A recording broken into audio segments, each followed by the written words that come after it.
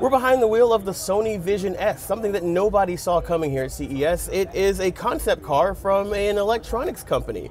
Now, Sony's not going to start building cars anytime soon. Mostly, this is just a showcase of the safety technologies, the entertainment and connectivity software that they have available for vehicles. They just wanted to get some eyes on it with this very attractive looking concept.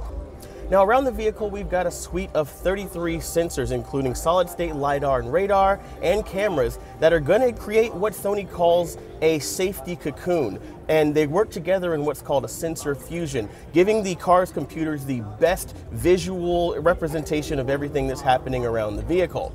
Now, this isn't what you'd call an autonomous car, that's mostly for driver aid technologies, but it doesn't mean that those cameras and LiDAR sensors can't work in something like a level two hands-off highway autonomous system, though Sony hasn't actually mentioned anything to that respect either.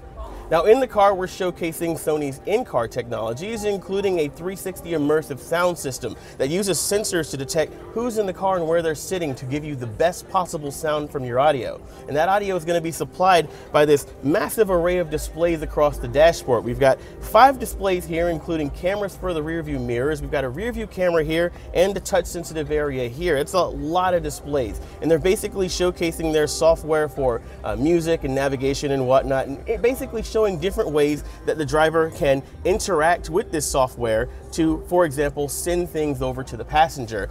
Now, what about the car that surrounds all of this? It's an electric sedan, it's sleekly designed, and what we know about it is that it basically has electric all wheel drive, and from what I can tell, about maybe 300 miles of range, but that's not the whole point of this. The electric car is again just a showcase. Now, Sony did go out of their way to say that this platform can be adapted to other vehicles, and they are working with about a dozen partners, including Magna, Continental, and Bosch. So well, maybe we'll see a Sony electric SUV concept somewhere down the road.